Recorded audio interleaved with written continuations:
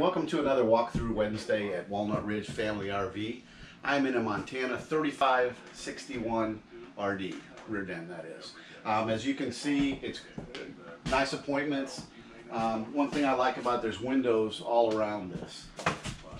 Nice complete blockout blades, shades, slow roll up. This is kind of like a day shade there.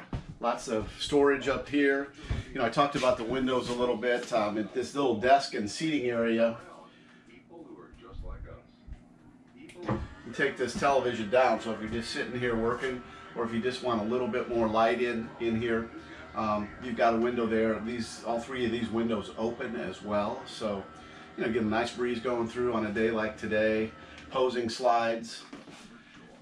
Um, this particular unit has a nice accented um, kind of a separation to the room, if you will. Um, opens it up, but but, but um, segregates it a little.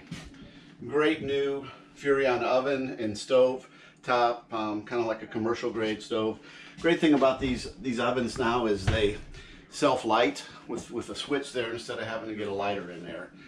Nice big island 70-30 sink, fancy faucet.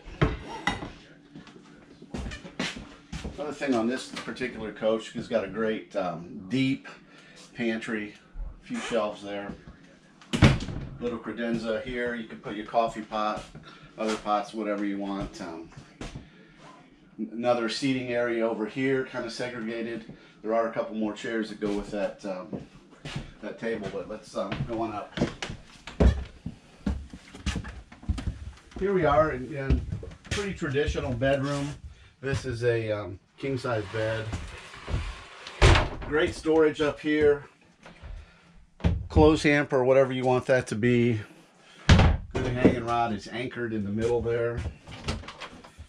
Also set up for a um, washer and dryer if you need it. You can either use a, a combo or a stackable. Just pop that out. Um, attention to detail, you know, the television here, but it's it's um, encased in a, in a nice wood wood wood wood, wood piece there. And the bathroom, just I like to call that a, a real shower because it's like something you might have at home. Um, fantastic fan in there, more storage there. So again, this, is Chris Logan, Walnut Ridge, uh, from a walkthrough Wednesday. And um, hey, other great news on this, I forgot to tell you. We've just reduced the sale price on this by $4,000. So either give us a call or come out and take a look at the 3561. Thank you.